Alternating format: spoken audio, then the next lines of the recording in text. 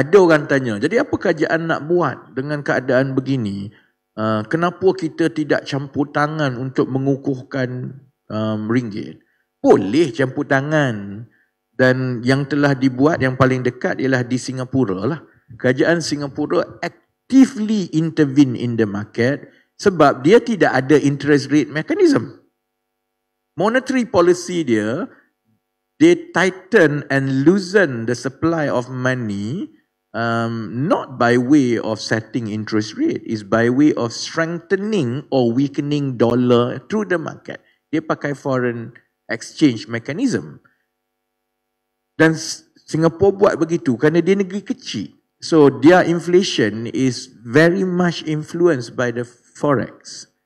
Jadi kalau forex dia lemah, dia akan ada imported inflation yang tinggi dalam dalam Singapore kan. Jadi they use forex mechanism, kita pakai interest rate mechanism. Untuk mengukuhkan Singapore dollar yang orang duk tweet ni, ah, tengok ni Singapore dollar paling hebat, paling kuat apa jadi dengan ringgit Malaysia semua.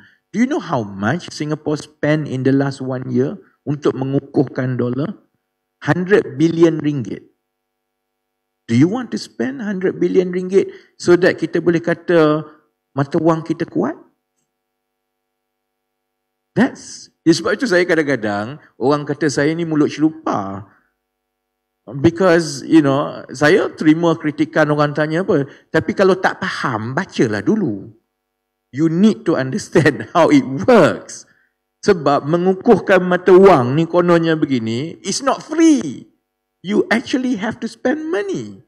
So, you know, kalau kalau dalam keadaan kita, kalau tanya saya, do I need do I want to spend 20 billion untuk mengukuhkan mata wang supaya kerajaan nampak cantik? Might as well bina jambatan kali ke-20 dekat Penang.